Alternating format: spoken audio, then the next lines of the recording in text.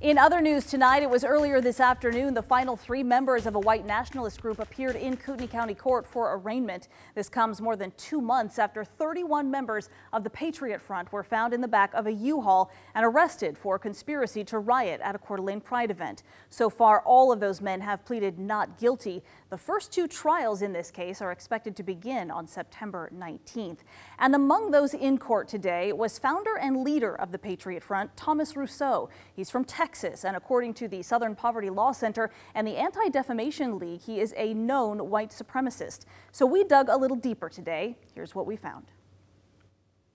Two of the nation's top anti discrimination and racial justice organizations say Thomas Rousseau grew up outside of Dallas, Texas, and began showing signs of white nationalist beliefs as a young teenager. In fact, this article in the Texas Observer newspaper says the FBI has been monitoring Rousseau since he was still a student in high school, where he often wrote opinion pieces in support of conservative topics. But it was shortly after he graduated that Rousseau emerged as a leader inside another white nationalist organization, Vanguard America.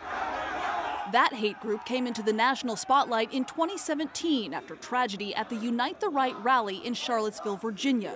One woman was killed after a man drove his car into a crowd of counter protesters. And in the aftermath of Charlottesville, the Southern Poverty Law Center says Vanguard America dissolved into chaos, and Rousseau announced his new organization, Patriot Front.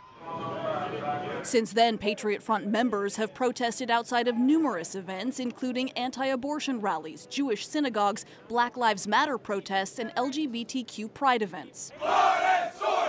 Members often chant the slogan Blood and Soil, which the Anti Defamation League says originated in Nazi Germany, equating white European identity with the right to inherit American soil. Since its creation in 2017, Patriot Front activity has now expanded into dozens of states.